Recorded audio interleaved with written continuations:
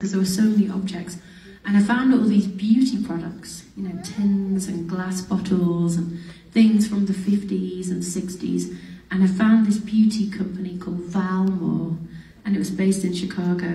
And I was really intrigued by Valmor. The drawings were the drawings were really elegant. There were line drawings done by this black artist called Charles Dawson. And all the advertising and naming around Valmor was really romantic. So if you bought a perfume from Valmor, it might be called Follow Me Boy or Look Me Over. And I saw adverts for Valmor in Ebony magazine, and they said things like, His eyes will follow you across the room. You know, they, they really drew on this romance, and I was interested and I pulled to it, thinking about what it's like to be a woman in the 50s and in America and, and buy these products, you know, they were sold door to door like Avon. So someone would knock on your door with a basket and they would have all these products and you could choose. And they were so convincing, all the copy, you know, sometimes I would read about these products and read about a hair pomade and think, I wonder if you can still get this. Because it would just sound like it did everything you would want thing to do, you know, they were so convincing, those adverts.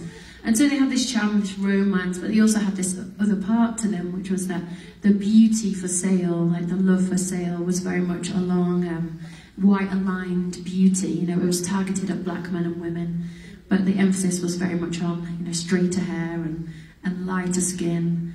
And so I wrote in response to this, uh, this company and, and all their romantic uh, advertising. In the first half of this song, the person is very much under the spell of Valmor.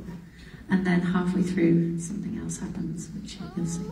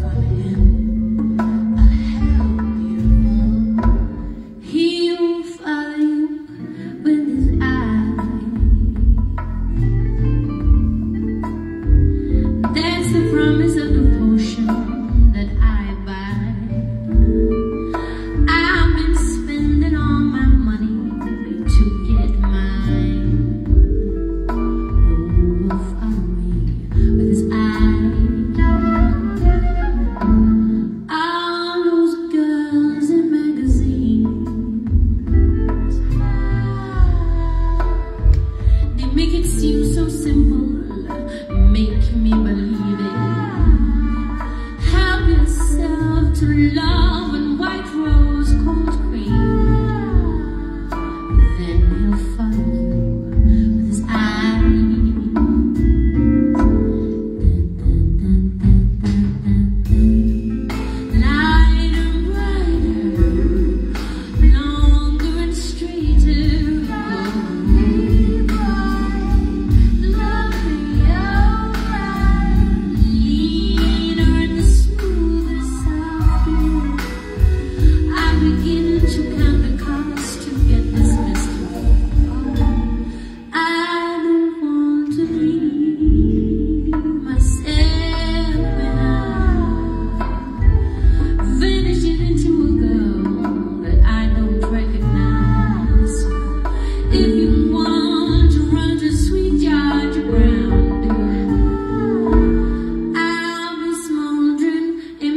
plum red lipstick, my black hair kinking, my black skin gleaming, my plum red lipstick.